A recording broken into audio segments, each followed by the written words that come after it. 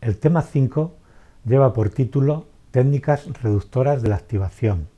A lo largo del mismo comentaremos las estrategias para disminuir los estados de ansiedad que pueden sufrir las personas.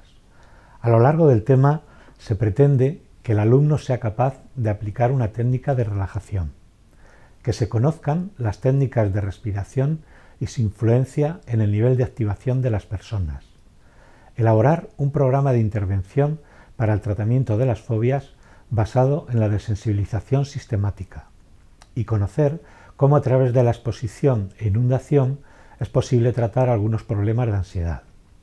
Los contenidos del tema se relacionan con profundizar en, términos en técnicas de respiración, de relajación, especialmente la relajación progresiva de Jacobson y el entrenamiento autógeno de Schulz, la desensibilización sistemática y las técnicas de exposición-inundación.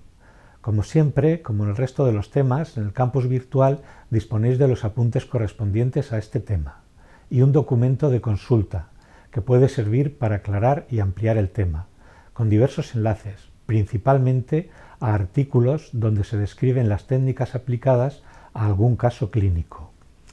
La tarea planteada consiste en elaborar una jerarquía de situaciones causantes de ansiedad en un caso hipotético, así como describir el guion de una sesión de intervención.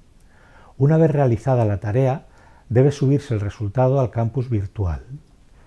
Por último, cualquier duda que tengáis sobre este tema se puede plantear en el foro correspondiente.